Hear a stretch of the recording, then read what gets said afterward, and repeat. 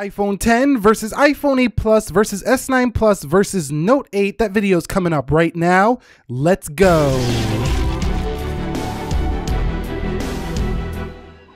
So, what is up, guys? Nick here, helping you to master your technology. Welcome to the iPhone 10 versus the 8 Plus versus the Samsung Galaxy S9 Plus versus the Samsung Galaxy Note 8. Now, the reason I'm doing this video is because I got a question in just yesterday as I was preparing part three of the Samsung versus Apple series. This is actually not the same video. We're going to be talking about which one of these to buy right now. A uh, question came in, said, I'm not going to reveal the person's name, but said, currently on an iPhone 6S and searching for a new phone, and I'm having a hard time deciding between the S9 and the iPhone 8. The iPhone 10 is out of my price range. Can you please help me? Me, give me some advice. So that's where this video spawned. And uh, these are the top offerings from both Apple and Samsung. And instead of me mentioning specs, I'm not going to do that. I have reviews on all these and videos upon all of these, including the red iPhone 8 Plus, including the Note 8. There's camera stuff. I've done a bunch of comparisons. I will leave a lot of those videos linked in the description if you're looking for more content. But in this one, I'm going to talk about who should buy each one of these phones. Let's get into the first one. Okay, so before we get, begin with the first phone, the iPhone 10, who should buy this device? I'm going to say that this video is going to be subjective experience. It's based on my use case with all of these and what I've observed and the applications that are best suited for these devices. So first, before we go on more with the 10, remember this iPhone 10 is going to be updated just two months from now. So yes, it's going to have a similar design with a similar camera look, maybe a similar hump, maybe a slightly decreased notch, but overall the design philosophy is going to stay the same here for the iPhone 10. So if you're planning on buying one of these, you're going to be investing a $1,000 just to have your phone updated in just a month and a half or so here. But some people are like, Nick, I don't care. I'm here to buy an iPhone 10. I need to know, is it worth it over these phones or not?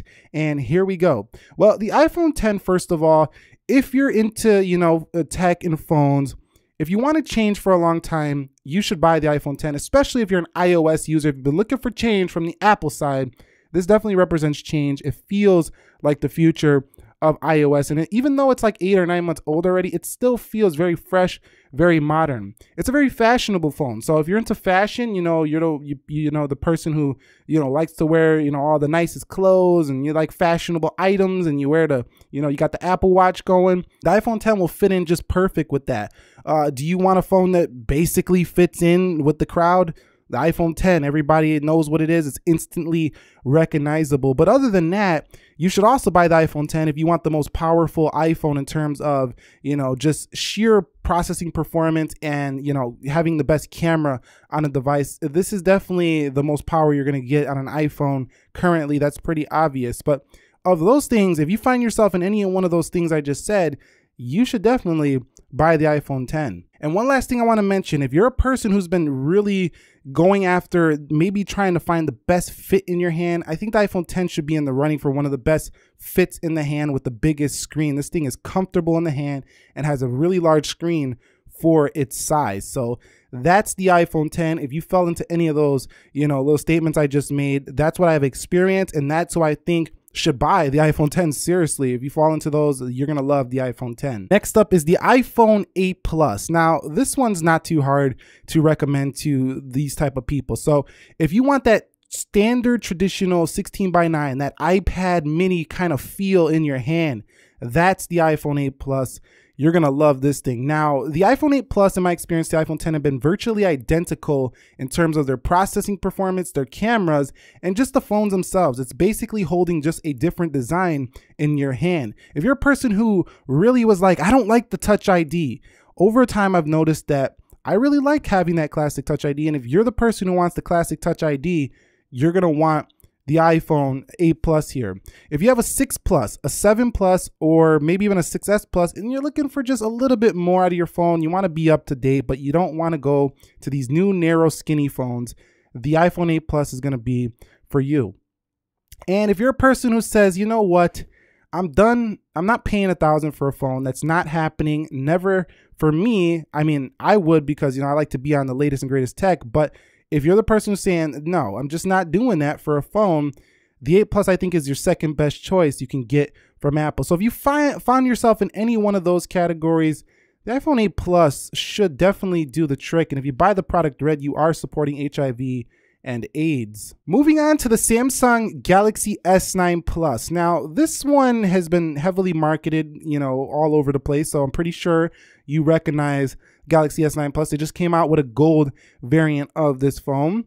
If you're looking for one of the best Android experiences you can get, with uh, basically iPhone status hardware and all that, you're gonna love the Galaxy S9 Plus. Are you a person who's looking to have the most features you can get in a smartphone? The Galaxy S9 Plus is definitely gonna be the one for you because this phone not only gives you beautiful hardware, it gives you a software set that gives you so many features that you're going to be finding things later on in your use case. Now, one of the arguments against Samsung's uh, Galaxy S9 is going to be your software updates, but this phone's been getting some, you know, pretty quick security updates. It should get a few major ones as well. So it's going to last pretty long into the future. Of course, it's not going to go the five, six years you're going to get an iPhone. But again, like I've said in my prior videos, these phones are not going to probably run as quick as they do today in five years. So more than likely something else is going to come along that you're going to might want to upgrade to. So the Galaxy S9 just offers so much in one package that if you're looking for a phone with the most feature set in one device, but you don't need an S Pen, the S9 is the phone for you. If you want a fashionable Android phone, I would say that the S9 is definitely up there. They got the lilac, they got the gold, they got the blue color, the black, not so much.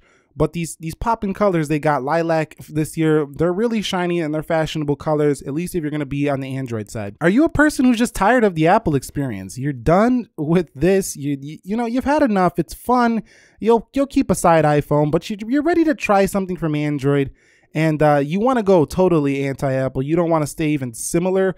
I think that the S9 is a very different experience. It's kind of like the anti-Apple experience versus like uh, maybe a Huawei phone is closer to the I iOS experience with the EMUI. This is more like an anti-Apple experience. No notch, you know, features you could never get on an iPhone.